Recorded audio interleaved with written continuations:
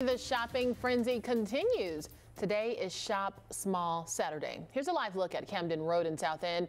Shop Small Saturday is taking place. The road will be shut down uh, all day as the area is expecting a lot of people to come out and support small businesses. So getting things ramped up there. The event starts at 10 o'clock this morning. Again, Camden Road and Winnifred Street will be closed off until 7 o'clock tonight.